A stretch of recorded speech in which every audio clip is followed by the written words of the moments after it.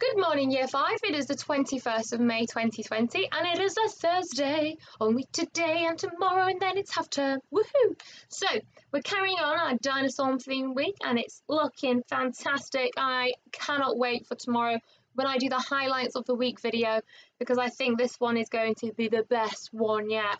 So, Year 5, um, I want you today, I want you when you click add response to um, uh, decide which period of the Mesozoic era you would like to visit the most and why.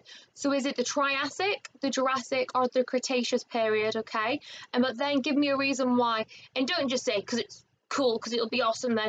I want you to say because these types of dinosaurs lived then or the conditions were like this on, on the earth then, okay? I could even bring in Pangea as well if you Triassic.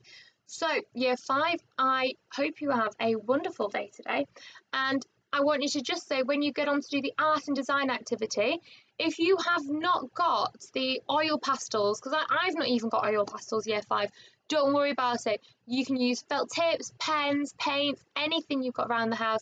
Even if you've got um, chalk, it's absolutely fine. Any materials to complete your artwork, so don't worry if you've not got the um, the oil wax crayon things, okay?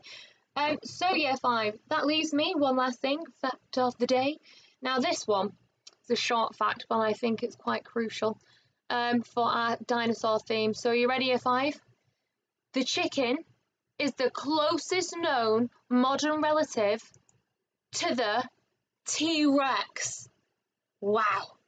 Over and out, Miss Davies.